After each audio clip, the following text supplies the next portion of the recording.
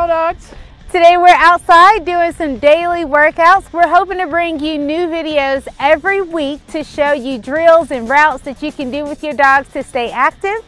Today we're going to do suicide drills and sprints.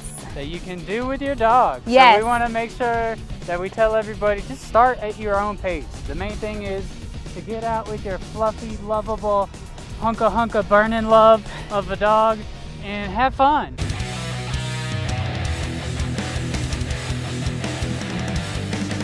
The key to good sprints with your dog is to have a good start and stop point. We used field cones and put them at opposite ends of the field and ran as fast as we could. And look here, Vader caught on quick.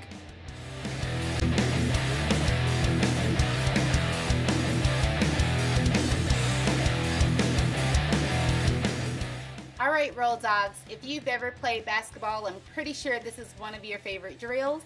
What you want to do here is again using field cones, set each cone up at an equal distance and gradually run from one cone back to home, next cone back to home until you've completed the series.